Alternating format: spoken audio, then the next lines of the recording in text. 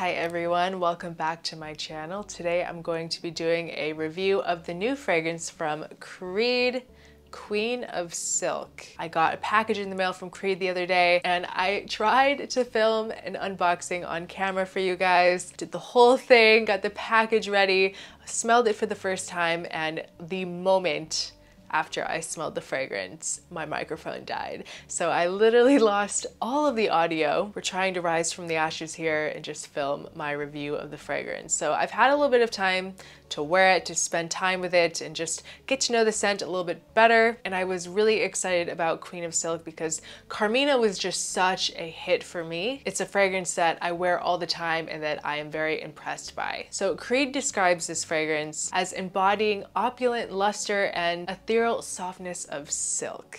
You definitely get a lot of velvety facets with this scent. We have notes of osmanthus, saffron, magnolia, with tuberose and a passion fruit note, with cedarwood, patchouli, agarwood and a soft Madagascan vanilla. And in the base, a little bit of ambroxan, musk, incense, and myrrh. So when this opens, you initially get this blast of osmanthus, which I really love. It kind of gives it this peachy fruitiness. Honestly, it has some chypre vibes too. My first impression of it is that it's very different smelling, very powdery, very floral. It kind of dives down from that osmanthus into this magnolia to iris. Very silky, very smooth, and very fruity, especially with that passion fruit. And it's kind of crazy to say, but it reminds me of something in the realm, like a super, super feminized version of Tony Iommi, because there is some hints of darkness in this, and the hints of darkness come out even more as it dries.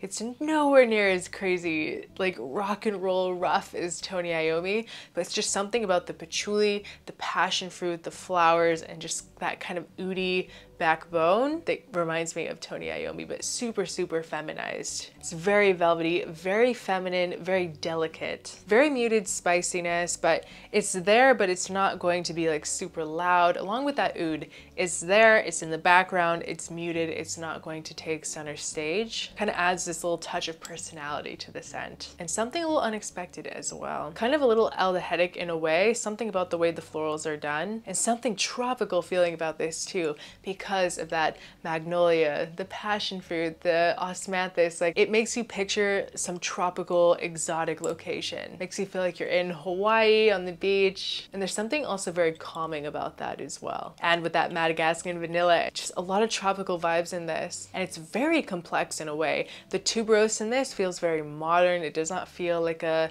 grandma, stuffy, old vintage scent. It's a very nice modern tuberose, which I love by the way. And the patchouli in this as well, it's not overly gothic, not overly earthy. It just kind of adds this touch of a green spice. It's so vibrant with these fruity accords. I really feel like Creed is trying to create and release more complex artistic types of scents versus that very classic fougere, like clean, kind of powdery floral sense that they're really known for.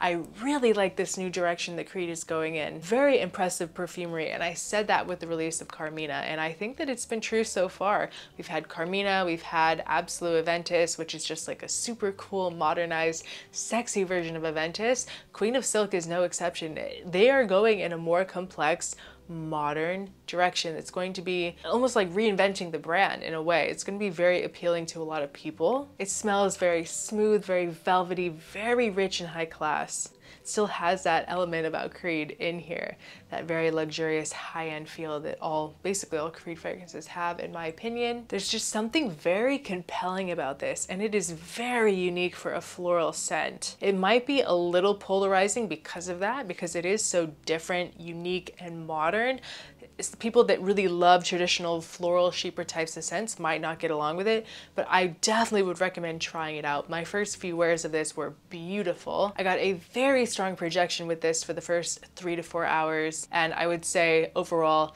about six hours of a very strong, good wear. There's just something that I love about this. So tropical and exotic, but done in a very new way. Very, very unique. I just, I can't get over it. Definitely has polarizing reviews as well. I think it could have something to do with the tuberose. I think that some people either really love tuberose or they, it gets under their skin a little, they don't appreciate it. Um, me personally, I am a big fan of tuberose when it's done in a, in the right way, in the way that I really enjoy. Not that there's really a wrong or right way, but just in the way that I personally am drawn to. You just need to test it out for yourself. You can try this at any Creed boutique near you. You can find it at places like Neiman Marcus, department stores like that. You can also order samples online if you want to try a full sample. I think that this is definitely the type of scent that needs to go on your skin. And it's also the type of scent that you will grow to understand, you will grow to appreciate. It might take a couple wears before this fragrance really grows on you. Or you might be like me and just think that it is a total stunner the moment that you smell it. I really love this and I love the bottle as well. I wish I could show how beautiful the bottle is. There's something about this light that does not like to show the true color of a fragrance, but it's a really royal type of purple color. It's not as dark as it looks on the camera, I promise. I just can't get enough of this powdery osmanthus with this very sensual, exotic edge. Very innovative of Creed, in my opinion. You just need to test it out in a store near you. And once again, I'm just loving this new direction of Creed and I am very excited to see what comes next. So guys, that is my review of the new fragrance from Creed, Queen of Silk. I hope you guys enjoyed this video. Leave a comment below if this is a release that you have tried or if you're interested in trying it. What do you think about the fragrance? I would love to know your thoughts. Thank you guys so much for watching. I appreciate each and every one of you and I'll see you guys next time. Bye.